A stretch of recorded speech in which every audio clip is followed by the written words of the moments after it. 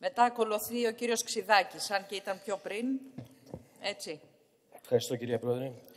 Κυρίες και κύριοι συνάδελφοι, παίρνοντας το νήμα από τον κύριο Βορύδη που δεν είναι εδώ κατά παρέκκληση των διατάξεων εντός εισαγωγικών, το λέω αυτό, θα κάνω μια παρατήρηση για το θέμα που είπε και αυτός ξεκινώντας την παρέμβασή του για την υπόθεση του Μακεδονικού. Νομίζω, κύριε της Νέας Δημοκρατίας, ότι όλο αυτό το διάστημα, ο διάλογος όπως έγινε, μας έδωσε τη δυνατότητα να θυμηθούμε πολλά και κυρίως να αποκαλυφθεί η ασυνέχεια των δικών σας τοποθετήσεων. Έχουμε μπροστά μας, από ό,τι φαίνεται, την πιο καλύτερη, την πιο προωθημένη συμφωνία που υπήρξε ποτέ και που ευχόμαστε πραγματικά να ολοκληρωθεί εκ μέρους της ελληνικής κυβέρνησης. Δεν μπορείτε να κρυβόσαστε πίσω από τα συλλαλητήρια. Δεν μπορείτε με ανεύθυνο τυχοδιοκτικό τρόπο να τοποθετήσετε πάνω σε ένα κρίσιμο θέμα που εδώ και 25 και παραπάνω χρόνια απασχολεί τη χώρα. Δεν μπορείτε άλλα να λέτε πριν τα πρώτα συλλαλητήρια της Θεσσαλονίκης και άλλα μετά. Πρέπει να τοποθετηθείτε με σαφήνεια. Και αυτή η σαφήνεια σχετίζεται με την πολιτική κατάθεση του δικού σας χώρου επί των ημερών σας, διότι σε αυτή την εθνική γραμμή ξέρετε ότι κινήθηκε η παρούσα κυβέρνηση. Δεν μπορείτε λοιπόν να αποφύγετε ποια είναι τελικά η θέση σας. Είναι η θέση σας σύνθετη ονομασία, με γεωγραφικό προσδιορισμό, με προϋπόθεση τη συνταγματική αναθεώρηση εκ μέρους της Φύρων. Ναι ή όχι. Και ξέρετε κάτι, στην πολιτική διαδρομή του καθενός, το τι λέει για τα εθνικά θέματα δεν είναι κάτι που έρχεται και παρέρχεται, τον σφραγίζει. Και ο κύριος Κυριάκος Μητσοτάκης θα φανεί τελικά αν μπορεί να θεωρείται ένας πολιτικός που στα εθνικά ζητήματα κρατάει μια στάση συνέπειας σε σχέση με το, το, τους δρόμους που ίδια η παράταξή του είχε παλαιότερα ε, ανοίξει. Δεν ζητώ βέβαια την κατανόηση μιας τέτοιας τοποθέτησης από τον κύριο Βορύδη ή πολύ περισσότερο από άλλα στελέχη, οι οποίοι σόγαμπροι στη Νέα Δημοκρατία, φαίνεται όμως ότι έχουν κάνει τη ζημιά τους. Διότι έχουν μπλοκάρει μια εθνικά υπεύθυνη στάση πάνω σε αυτό το θέμα. Και επανέρχομαι πάνω σε αυτό το οποίο συζητάμε, ο λόγος που παίρνω το λόγο, ο λόγος που παίρνω τον λόγο, λοιπόν, ε, είναι για να αναφερθώ σε διατάξεις που σχετίζονται με τον ε, φορέα διαχείρισης των κοινόχρηστων χώρων στην επένδυση του ελληνικού. Και με αφορμή, για να μην το ξεχάσω, θα ήθελα να καταθέσω κάποιες νομοτεχνικές βελτιώσεις που αφορούν τις πρώτες διατάξεις. Ορίστε, τις αφήνω εδώ. Α, δίνω σε εσάς. Ωραία.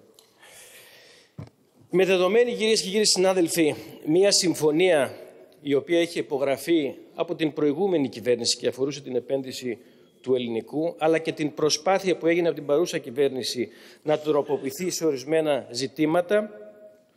Με τις συγκεκριμένες διατάξεις συστήνεται ο φορέας διαχείρισης των κοινόχρηστων χώρων και ερχόμαστε έτσι να ψηλαφίσουμε προβλήματα που είναι πρωτόγνωρα για την ελληνική κοινωνία, διότι μια τέτοιου είδους επένδυση στα μεγέθη τα συγκεκριμένα. Δεν είναι κάτι καινούριο μόνο για την περίπτωση της Ελλάδας. Είναι συνολικά κάτι καινούριο για σε πανευρωπαϊκά δεδομένα. Εμείς προσπαθήσαμε εξ αρχής να υπηρετήσουμε την αρχή ότι η διακήρυξη των κοινόχρηστων χώρων αποτελεί πράξη άσκησης δημόσιας εξουσίας.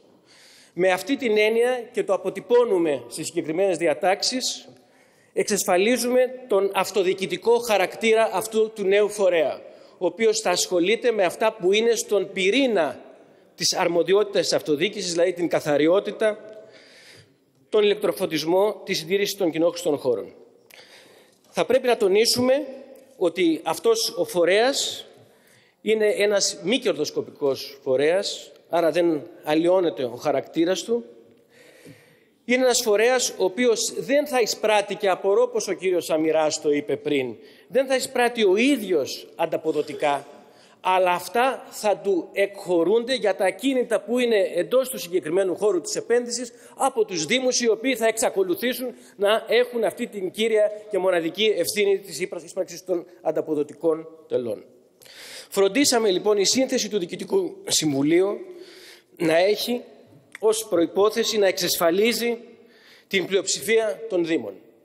Η εκπροσώπηση των Δήμων θα γίνει κατά αναλογικό τρόπο. Αντιλαμβάνεστε ότι το μεγαλύτερο μέρος είναι στα όρια του Δήμου του Ελληνικού. Δεν θα μπορούσε λοιπόν να μην έχει τους περισσότερους εκπροσώπους ο Δήμος του Ελληνικού. Δεν κατανοώ κάποιες αστερίσκους, κάποιες διαφωνίες από αυτού που ακουστήκανε από τον Δήμο της Γλυφάδας ή το Δήμο του Αλήμου.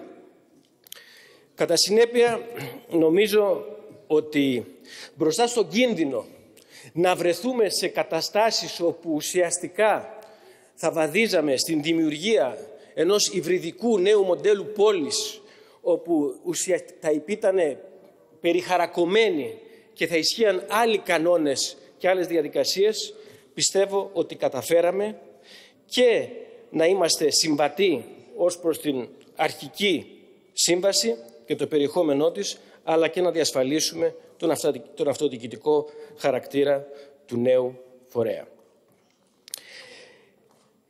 Κυρίες και κύριοι συνάδελφοι, ο φορέας αυτός θα εποπτεύεται από το Υπουργείο Εσωτερικών.